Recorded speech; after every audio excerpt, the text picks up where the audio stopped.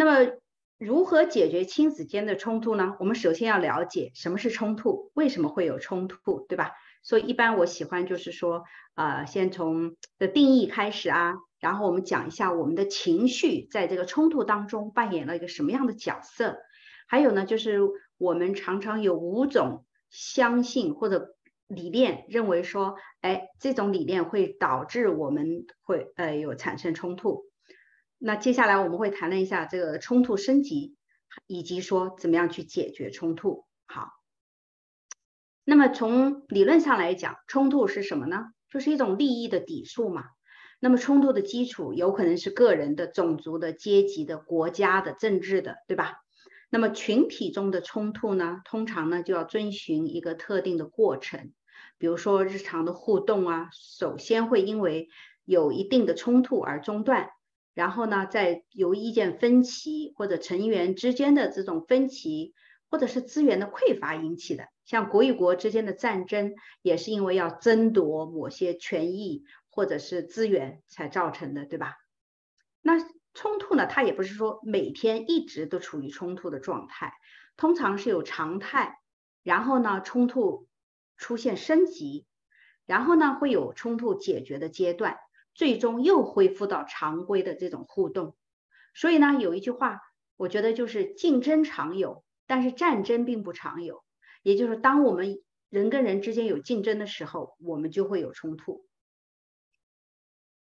好，这个讲到冲突的时候，我们想，哎，这个情绪跟冲突有什么关系？其实所有的冲突都跟情绪有很大的关系，它扮演了一个非常重要的角色。什么样的角色呢？因为情绪通常是我们能够满足生存的需求、蓬勃的发展以及享受生活的一种能力。比如说今天很开心，哎，我们的情绪就比较高昂，对吧？如果今天遇到一件不顺心的事情，或者有什么悲哀的事情发生，当然我们的情绪就很低落。所以呢，每一种情绪就会激活我们大脑的不同区域，并且能够产生不同的非语言表达的和身体的这种。反应的模式，那也就是说，这个大脑会产生一种多巴胺或者是这种 cortisol，让我们哎会呃因为情绪而导致我们有不同的行为。所以冲突呢，它是由情绪造成的。严重冲突的特点就是高度的情绪化。所以我们要想解决冲突，就是要能够学会控制我们的情绪。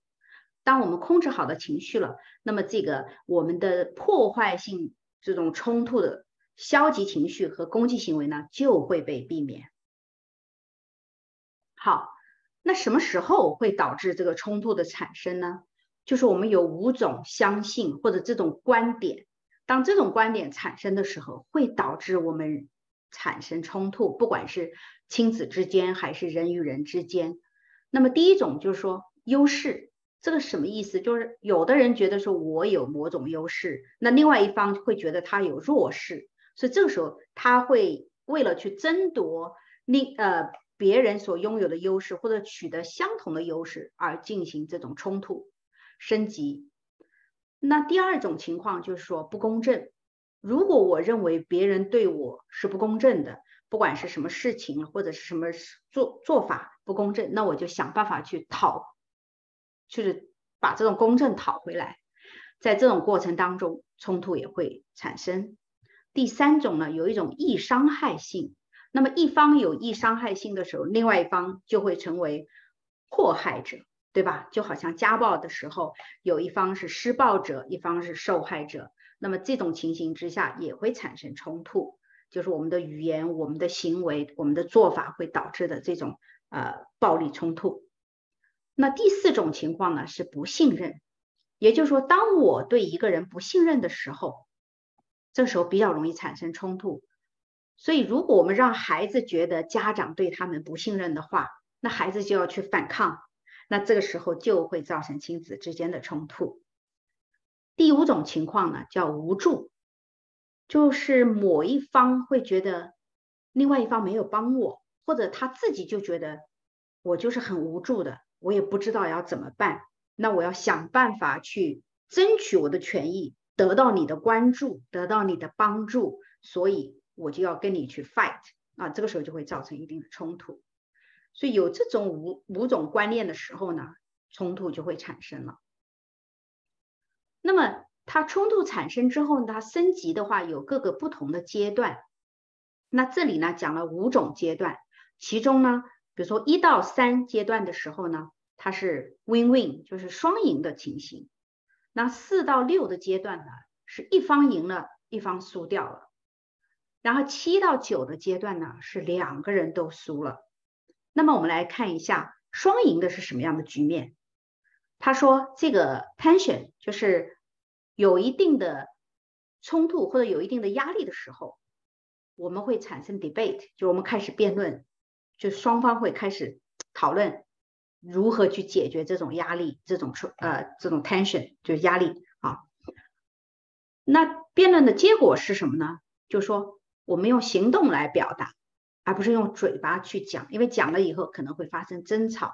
那行动上面呢，有一种情况就是让我们配合，那我们合作呢，我们就会双赢。好，所以第四个部分就是让大家看到，我们合作的时候我们是双赢的。但是如果说这种这种合作的关系不成立，或者说被破坏了，那就会进入到第五个阶段，其中一方会觉得。我没面子了，我输了，所以呢，我要去跟你去反抗，不管是父母也好，孩子也好，如果觉得我们一方是输掉的话，他我们有都有一种自我防御机制嘛，这种自我防御机制就让我们会去对对方造成一种威胁的状态，就说，哎，你如果这样做，我就会怎么样怎么样。通常孩子小的时候。父母常常讲的一句话就是：“哎，你不听话，送到警察局去，让警察叔叔管你，对吧？” 我们可能听过很多次，但大了以后，这种方法肯定是不管用的。所以呢，我们可能会说：“你常常上网，我就要给你断网、断电，或者用其他的方式。”那么这些其实都是我们所用的一种叫 threat strategy，带有一定的威胁的这种策略。那有时候这种策略可行，有时候可能也不可行，所以我们就说家长也不能一直用，就适当的调整。那么第七个阶段呢，就说开始有限度的破坏了，因为当我受到威胁的时候，我就要想办法去破坏，把这种威胁给打破。所以呢，开始有一种破坏性的行为了，比如说有的孩子就在家里面砸东西呀。对父母采取不尊重的行为呀，或者谩骂呀等等，这种都是有限制的一种破坏。那到后面呢，就第八个阶段呢，就是全力的开火。这种状况之下，就是冲突升级，甚至于有肢体上的冲突或者其他的冲突。孩子说我不去上学了，啊，你们都不用管我了，或者考试我也不去考了等等，就是这种让生。这个冲突升级之后，让父母更加的生气，然后造成用更多的 punishment 或者是限制的方式，那么这个就无解，会越来越啊严重，那么双方都会跌入到一种深渊里面去，好，所以这个就是第九个阶段，那么就属于大家都输掉了，没有人在这个场冲突当中赢的，所以这三种呢，啊，希望大家就说有一个认识。我们怎么样？哪一个阶段我们是可以避免的？哪一个阶段我们可以用不同的 strategy、不同的方式去处理，就会避免啊更恶化的情况产生。好，那这个亲子之间的冲突呢，跟别的情况还有一点不太一样哦。这个利益的方面呢，相对会少一点。不是说我们为了争得某种利益去冲突，而更多的时候呢，是什么呢？啊，我讲了这几个方面，就是不确定性和承诺。也就是说，如果孩子或者我们期待孩子是，哎，你至少把你自己的功课做好，考试你拿个 A 或者 B，好，我也不要求你全 A，拿 B 也是 OK 的，有时候 C 也是 OK 的，好。但这种就是好像一种约定俗成的承诺，就是我们期待孩子就会这样去做。但是呢，这里面有一些不确定性，所以因为这个不确定性跟承诺之间会有产生冲突的机会。那么第二种情况就是认知和误解，我们父母想的是一回事儿，那孩子想的是另外一回事儿。我觉得这件事情你可以做好，或者你应该就是很简单就完成的。但是我们没想到，孩子到了青春期之后，可能他们的荷尔蒙作祟，他们的这个找不到归属感等等，哎，就影响到他的自我效能。那这个时候，我们的认知跟他们认知之间就会产生误区。好，所以第第二种情况会产生冲突。第三种情况就是错误的归因。如果孩子这次成绩不好，那可能我们认为说你没有用心嘛。但有时候孩子就否认啊，不对，我已经用心了，但真的是这个老师不好，这个老师没有给全班一个学生 A，所有的人都是 B，也不知道他在想什么，对吧？所以我们把这种错误归因归结到孩子身上的时候，孩子会反抗，那我们就会产生冲突。啊，这也是我们要特别注意的地方。然后第四种呢，就是错误的动机。所以什么叫错误的动机呢？我们本来父母对孩子，或者包括孩子对父母，都没有什么不好的动机，对吧？我们没有想要害自己的孩子，爱都来不及呢，对吧？所以呢，但是为什么会造成一种错误的动机呢？就是我们的这个出发点。如果说我们的出发点就是希望孩子去读读一个好的大学，找一份好的工作，也许这是一个错误的动机，因为这个会影响到孩子在这个发展的过程当中，他自我强大的这个一个需求之间会产生矛盾，因为他自我需求并不是说我就是要去读一个好的大学，我就是要拿好的成绩。他更多的需要是说，哎，我需要空间，我需要尊重，我需要跟同学一起能够接有更多的呃友谊，让我找到这种归属感，找到这种安全感等等。所以这个动机方面我们会产生冲突。那么接下来呢，第五点说这个软硬战术，这个可能比较好理解。有时候我们用的一种 soft love，有时候我们用一种 tough love 去。跟我们孩子相处，那可能在这个过程当中，sometimes works，sometimes it doesn't，对吧？有时候行，有时候不行。所以这个软硬的战术呢，会导致一定的冲突。如果孩子需要的是 soft love 的时候，我们非要给他一些 tough love，就说，哎，我这样子就是，呃，如果子不教父之过，我一定要对你严格一点，我才能够对得起祖宗，对得起我自己，对得起你，对吧？可能我们的传统的价值观会让我们这么去做。但是这种战术可能对孩子来说行不通。我现在不需要你 tough love，我就需要你 soft love，或者至少 at least you know what I want，对吧？你知道我想要的是什么。所以这个方面呢，我们就是要能够经常的试呃去调整，观察一下哪一种更适合孩子们。好，下面呢第六种有一点点困惑，就是什么叫互惠和向上的冲突螺旋，也就是说这种。关系呢是双向的，有时候冲突啊产生的时候，会让我们彼此都受惠啊，因为有动力，有压力才有动力，所以呢，孩子们学习会更努力呀。那父母也觉得我要改变我的亲子教育的方法呀，所以彼此会受惠，那彼此也会变得更加的积极向上。但是这种冲突呢，它是一种螺旋式的，不是说刚好在那个。点上面都那么完美的解决问题了，有时候孩子在这个阶段收惠，有时候父母在另外一个阶段收惠，所以这是一种螺旋的向上的冲突。好，不管怎么样，就是说如果父母跟孩子都能在这种冲突当中受益的话，那么这种冲突还是有必要的。那么第最后一点就是我们不想看到的啊，第七点刺激和愤怒，也就是说。我们用的这种方式会刺激到孩子，或者孩子用的方式会刺激到父母，那我们就会产生愤怒，对吧？有时候孩子会骂，尤其用 F word 或者是用其他的 BS word 什么的，父母听到这个就是一肚子的恼火。我们最不想听就是孩子用这种语言去对待父母，好像辛辛苦苦的来照顾你、养你都不说了，还要遭到你这种谩骂。当然，谁都会受不了，所以我们就要避免这种刺激和愤怒的情绪产生的这种冲突。那么这几种冲突也是我们大家平时常常都会遇到的，所以假如下次在遇到的时候呢，我们要学习怎么分析一下，到底属于哪一种，怎么样去找到解决的方法。好，有的人是喜欢，等一下啊，有的人喜欢用视觉去看问题或者去学习的，所以呢，我找到一个视频，就是说，嗯，他是用这个一张图来跟大家。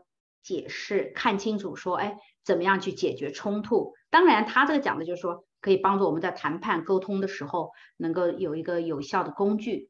呃，我我简单的给大家看一下，可能其中有一段我要把它缩减。当你看三十秒的地方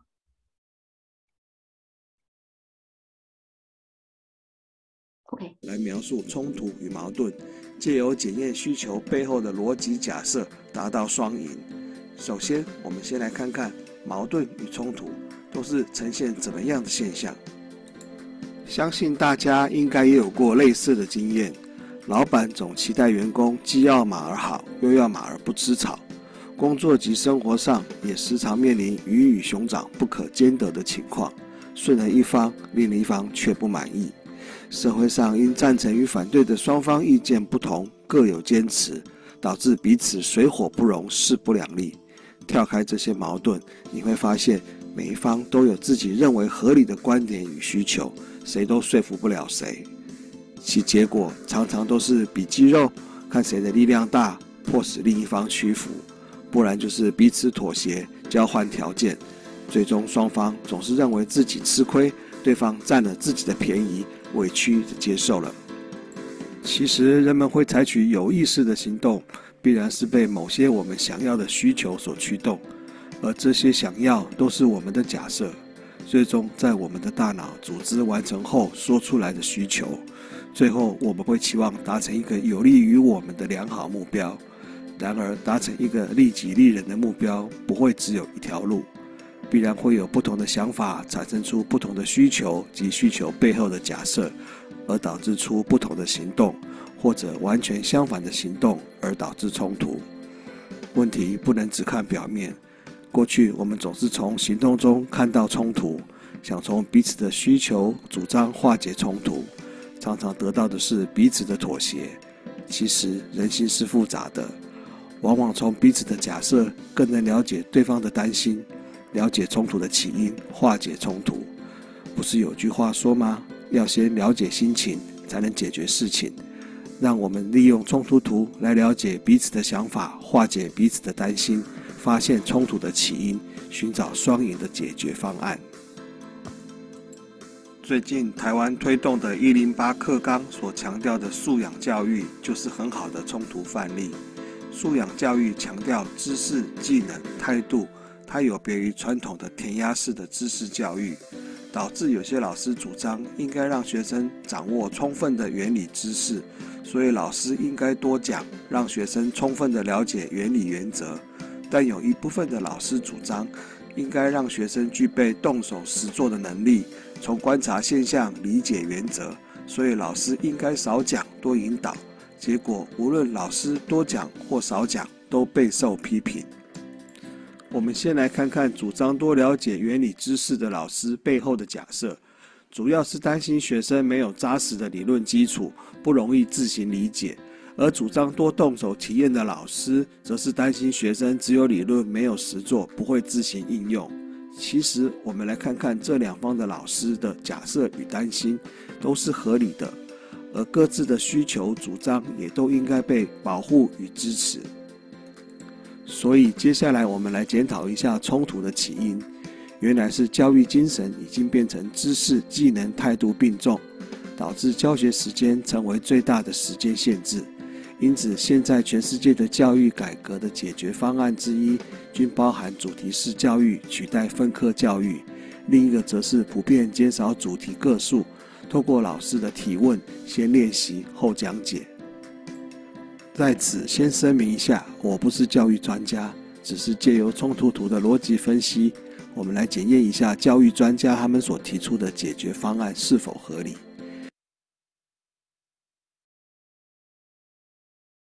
最后，我们退出。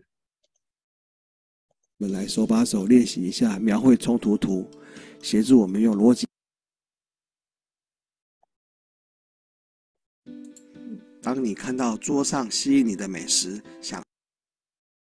好，不好意思，呃，因为我们后面的内容就不要看了。我觉得这是一个很好的例子，就是让我们想到家长和孩子们之间的诉求，到底对青少年我们需要管多一点。还是需要管少一点，我们可以套用这个逻辑图，对吧？就管多的时候，我们的诉求是什么呢？是认为说，哎，孩子还不够自觉，还比较小，我们需要介入。他的功课没有及时交，他的 project 没有按时完成，或者说他做的比较少，所以他的 project 没有拿到高分，对吧？等等，这是我们的诉求，希望多介入的这种理由。那。另外一种诉求就是说，我要少介入，我不用管他。这不管的理由是什么呢？就说孩子他会自觉，他会变得更独立、更强大，对吧？所以我们都有各种各样、这两种不同的诉求。这诉求背后面有告诉我们，哎，我们用什么样的方式去解决更好？就像那些老师，哎，他说我要怎么做，我要怎么做，对吧？所以这个我先就说没有一个确切的答案。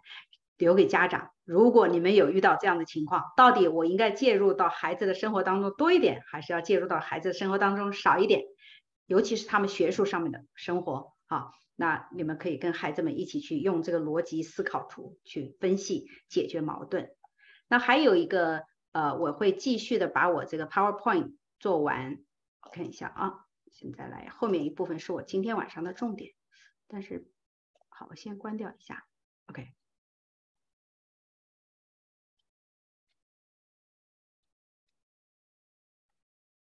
如果这个时候家长有问题的话，你们可以打开麦克风，啊，就可以来提问。因为我现在把这个 PowerPoint 重新拉出来。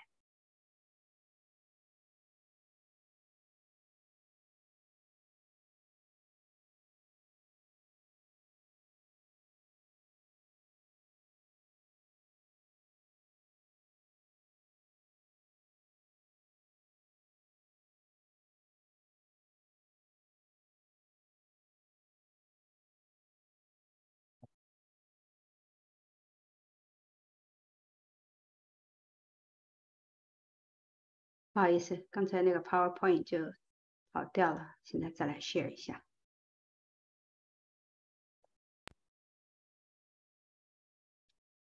我们刚刚看完那个视频了之后呢，因为这个是我自己总结的这个重点，就是怎么样去解决亲子之间的冲突啊。我我每次喜欢用一些英文的字母来把它呃缩写出来，就 initial 的缩写出来之后呢，让大家能够就是比较记住我们的重点内容。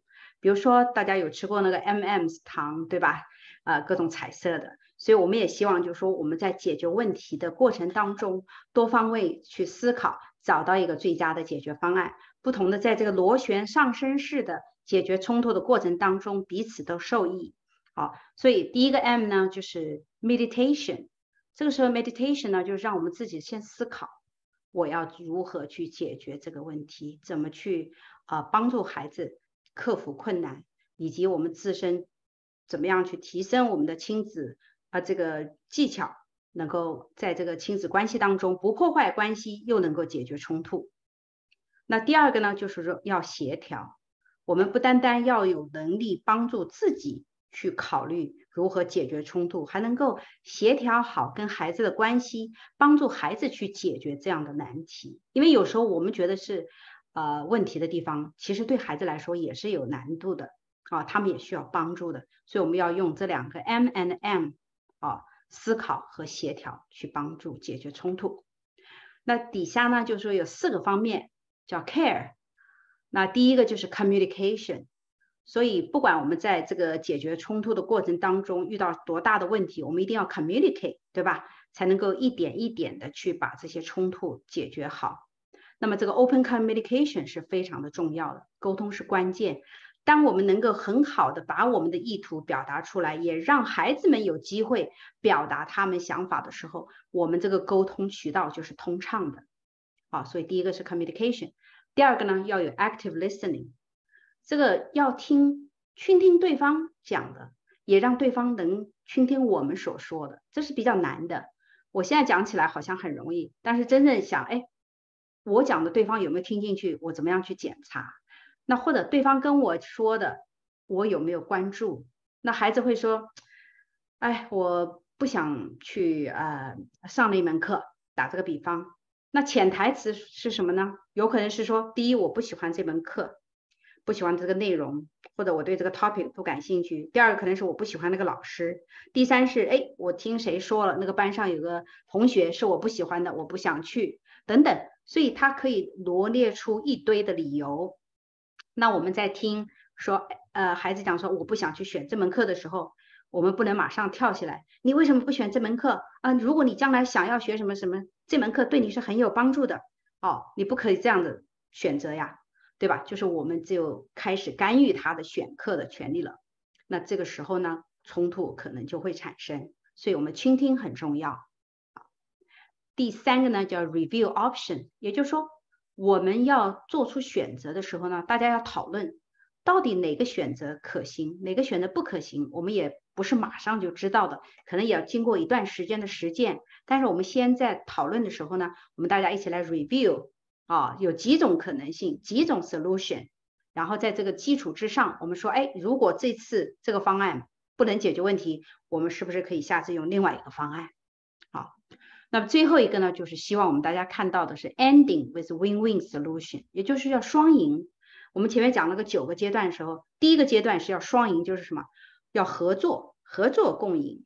那第二个部分就是说，一个人赢了，一个人输了。所以，如果是我们用父母的这种经验、我们的智慧、用我们的权益去跟孩子，呃，解呃，就是去跟孩子发生冲突的时候，我们赢过他了，那其实真正输的是什么？是大家都输了，对吧？因为我们表面上看起来赢了面子，但实际上可能是会输了里子，破坏了我们亲子关系，那会得不偿失的。所以呢，我们希望看到的是。都不要输，也不要一方赢一方输，而是双方都要赢。所以我们需要 care，OK？所以不单要有 M&Ms，有这个巧克力，让我们的生活变得更加的甜美多样化，还要有 care。那有了这个 care，就可以帮助我们在解决冲突的过程当中，很好的去发挥我们的智慧，也也帮助孩子们学习怎么样去解决冲突。因为在未来的生活当中，他们同样会面临更多的冲突。那我们家就是一个小小的平台，帮助他们了解 care，了解解决冲突的方法的一个平台。那还有一个工具，这个我以前在讲座中可能有提到过，我自己是觉得非常的好用，就是一个 three R，也是非常简单。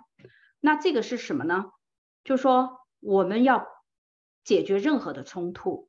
我们这个首先要调节好自己的情绪，这就是回应我前面为什么一开始要讲情绪在冲突当中的作用，因为情绪它有很大的破坏性的作用。就是我们有时候说，哎，一念之差，对吧？就一冲动的时候，哎，我们就可以做出一些让自己会后悔一辈子的事情。但是如果我们能够调节好自己的情绪，也能够帮助孩子们调节好情绪的话，这个冲突就。变得很容易去处理了，就对立性就不会那么强。所以第一步呢叫 regulate 调节情绪。我们在进行一个对话之前，要做一件事情之前，一定要先调整好我们自己的情绪。那如果发觉孩子今天累了，啊，或者说因为某件事情他本身就情绪不高了，不要用这个时候来跟他去讨论一些重要的话题。那我们能够帮助他调节的，就是说啊。看起来你今天好像遇到了一些什么不顺心的事情，你会愿意跟我分享吗？或者就说，哦，你好像蛮会对这件事情蛮生气的哦，你你可不可以让我知道，你你是怎么想的？那或者说，哎呀，好像看起来蛮难过的，是不是因为考试没有考好，或者是跟同学之前发生了什么矛盾？那你愿意让我了解一下吗？就这样子，我们可以帮助孩子慢慢的把他的情绪缓解下来啊，或者说，哎，我我理解你，我觉得如果老师这样对你，或者同学这样对你，我也会不舒，对我的话，我也会不舒服的，所以我就理解你为什么会有这样的感受了，啊。那这个调节好了情绪之后呢，我们要建立一种关系，也就是说，他讲的东西和我讲的东西能够沟通。如果他跟我们讲的是说，没事儿，什呃都挺好的，哎，但是呢，就是我也不太想讲，那说明一定是有什么东西，对吧？所以这个时候其实我们就可以呃跟孩子说，我在你这个年纪的时候也是这样，我也感觉好像跟父母没有太多的地方好沟通的。也许认为说我们的父母不懂我们，或者就是说，哎，讲了可能父母会不会更担心，或者就是说，哎，我跟父母讲了，他会不会怪我？所以 又因为有这种样的顾虑，我就不想跟父母去说了，对吧？那这时候我们想要的就是建立这种关系，拉近关系，套近乎。怎么样去套近乎，就是感同身受，让孩子们知道我们也是经过那个阶段过来的，我们也愿意呃跟他一起共同度过这段时期啊，建立好关系。所以这个时候呢，哎，孩子就会也会感受到父母的那种 care 啊。等到这两部分都建立了以后，就是我们有一个基础了，有一个 foundation，我们才能够理性的去解决问题。那个时候时机成熟了，呃，再跟孩子讲，你看这个最近打游戏啊，打的时间比较长，呃，我们能不能找一个解决的办法？就是说既不影响你的功课，也能够让你适当的时间去玩的，你觉得有什么样的方法吗？啊，在这种情形之下，孩子会觉得说，哎，其实父母也是很 care 我的，而且他会感受到那种 love，所以他会愿意说，哎，可以啊，我们来试试看。啊，那么在这个过程当中，可能有点拉锯战。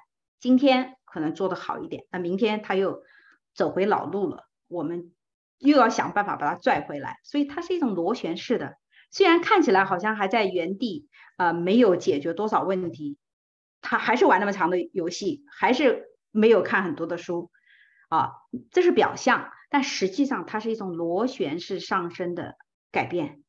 那么这种螺旋式上升的改变，也就是说。他在玩游戏当中所得到的快乐也好，得到的知识也好，或者是收获也好，跟他前天没有玩游戏的时候是不一样的。所以这是我们的一个理性的假设。所以呢，在这种理性的假设的基础上，再去理性的去解决问题，让我们孩子们知道，我们要帮助他们，我们是要支持他们，支持他们的学习，支持他们的玩，我们没有 judge 他们。但是我们要把我们的顾虑、把我们的担心讲出来，让孩子知道，其实我是有点担心的。那你觉得有什么方法可以解除我的这种担心吗？我们也可以问问孩子，就是说你自己这方面是怎么想的，有没有什么担心？所以这样子我们可以建立理性的对话。所以这个 Three R 从 Doctor Bruce Perry 这边来的，我觉得我们可以随时的用，不单单是说跟孩子的关系当中啊。解决冲突的时候，我们可以用得到。我们在工作上面，或者是夫妻关系，或者是其他任何场合，我觉得都是这样。我们要想理性解决问题，就是要调节情绪，建立关系，然后再去考虑解决问题，而不是一上来就说不行，你必须把电脑这个停下来，或者说我电脑把你没收了，我现在要断网了。很多家庭都采取的这种措施。但是我知道很多都没有解决好问题，反而造成了这个矛盾的升级，那么冲突就变成是最终好像父母跟孩子都会 跌入到深渊的状况。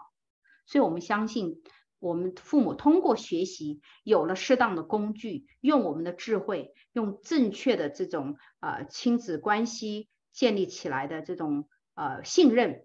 那我们会能够理性的解决好我们亲子之间的冲突，所以呢，我今天的分享先讲这么多。我希望就是说家长如果有问题的，我们来一起共同探讨。好，谢谢大家。